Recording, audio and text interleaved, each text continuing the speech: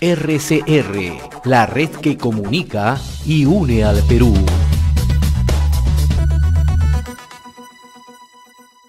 Vamos a conversar con el ingeniero Edwin Pajares Vigo, director de la Autoridad Administrativa del Agua del Marañón, Cajamarca. Ingeniero Pajares, muy buenas tardes, gracias por su tiempo. Sí, muy buenas tardes a RCR. ¿Qué medidas se están adoptando desde la Autoridad Administrativa del Agua del Marañón, Cajamarca, ante la presencia del niño, ingeniero? Sí, justamente, justamente acabo de informarle al viceministro que nosotros desde la Autoridad Nacional del Agua ya con mucha antelación, hace un par de meses más o menos, mirando este lo que se viene con el fenómeno del niño, el jefe nacional de la ANA nos reunió a todas las este, eh, directores de las diferentes autoridades administrativas del agua que tiene la ANA para abordar este tema. ¿no? Nosotros como ANA y particularmente como este, la Triple Marañón tenemos ya identificado este, 266 puntos críticos a lo largo y ancho de toda la cuenca del Marañón, ¿no? Y este, nos han asignado eh, más o menos 127 mil 600 soles para contratación de profesionales y actualizar esta información de las fichas técnicas de los puntos críticos y otras nuevas, obviamente.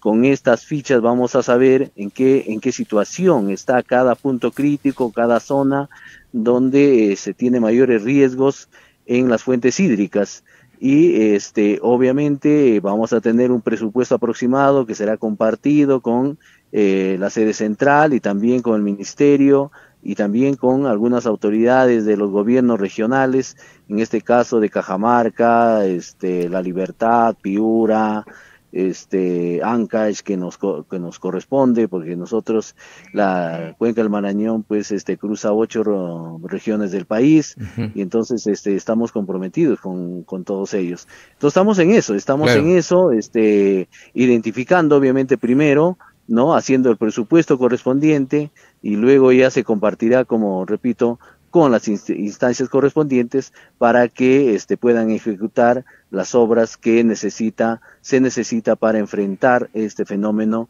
y pues eh, nuestros agricultores en las zonas o las, eh, los, eh, las fuentes hídricas no se vean afectadas sustancialmente para este, realizar las actividades agrícolas o también, en todo caso, para este, el uso poblacional, ¿no? Claro, ahora ingeniero. eso estamos haciendo. Claro, ingeniero, y ahora a diferencia de otras localidades del país que se registran lluvias, ya en Cajamarca también se están presentando problemas de sequía.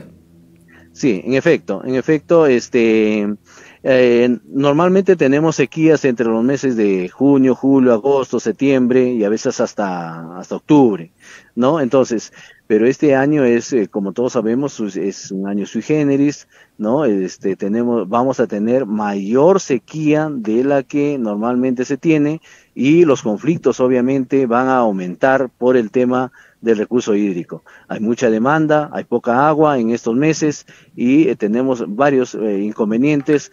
Ayer mismo tuvimos una reunión con una comunidad acá en Cajamarca, en la cuenca del río Machcón y Chonta, entonces hay, hay mucha sequía, no hay agua y ahí tenemos pues este dificultades, como le digo, para enfrentar este problema. ¿no?